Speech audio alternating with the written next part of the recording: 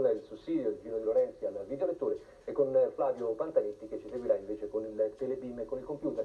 E andiamo subito allora a scoprire la prima immagine di cui ci interessiamo, vale a dire il gol re realizzato da Pruzzo nel primo tempo della partita tra Roma e Bari che ha dato il pareggio alla Roma che poi avrebbe vinto la partita. Ecco, l'azione qui probabilmente più che di gol di Pruzzo si tratta di autogol di Loseto. Rivediamo l'immagine nella sua fase determinante, ecco l'azione, c'è il pallone che schizza in aria, viene pure avanti Gino sul tiro di Boni, poi Tovalieri, poi la palla viene controllata col petto da Pruzzo, il suo primo tiro è respinto dal portiere Barese, la palla schizza tra due giocatori, Pruzzo e Loseto, ed è probabilmente la coscia sinistra di Loseto che sospinge il pallone al di là del suo stesso portiere. È il gol del pareggio romanista. Andiamo avanti allora e occupiamoci invece della partita tra Fiorentina e Milan, anzi meglio tra Milan e Fiorentina, anche questa decisa da un calcio di rigore, dopo che il Milan sfortunatissimo nel corso del primo tempo aveva colpito due volte i legni della porta avversaria, una volta con Rossi, una volta con Etri, tutte e due da posizioni abbastanza favorevoli. Il gol è venuto con un calcio di rigore che è stato poi trasformato da Iris. Ecco, vieni pure avanti, abbiamo già qui a disposizione immagini rallentate. Ecco Etri e Pascucci che entrano in contatto,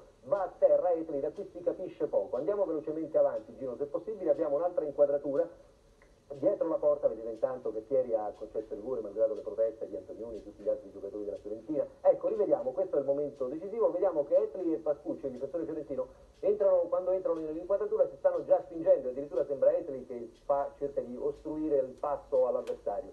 Poi nella spinta e controspinta va a terra Etli, c'è da dire una cosa, che come vedete Pieri è vicinissimo e quindi la sua valutazione si deve ritenere la migliore possibile, anche se effettivamente i fiorentini non avevano forse tutti i torti a protestare rigore comunque eh, trasformato da Virdis che decide la partita.